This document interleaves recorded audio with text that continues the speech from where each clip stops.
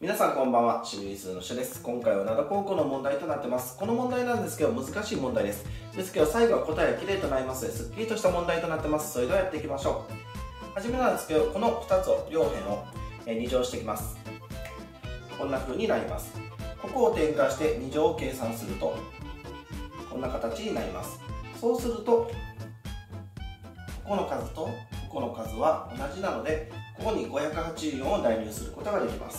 こんな風になり2で割ると100になります。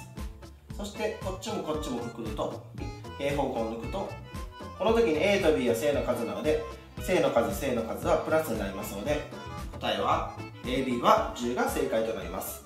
皆さんもよかったらやってみてください。それではまた。バイバイ。